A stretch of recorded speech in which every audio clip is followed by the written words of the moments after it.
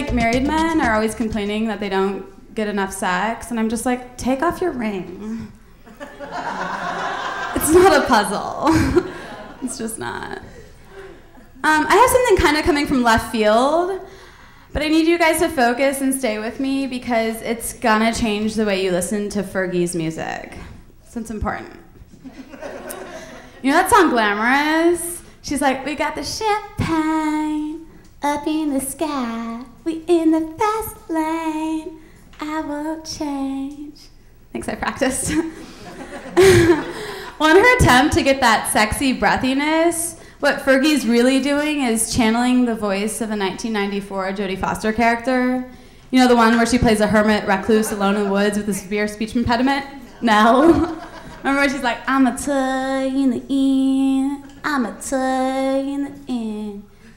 The champagne, I'm in the fast lane, chicka pay. You hear it?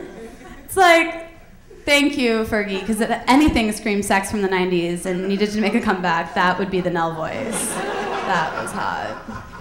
Um, I'm gonna leave you guys with this. I moved out here from New York, and um, when I lived in New York, I used to have to take the subway train to work in the morning.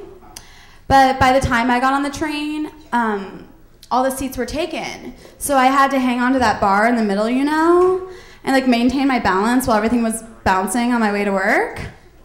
And one day I was on my way to work and I heard this voice, and she goes, I don't want no butts in my face.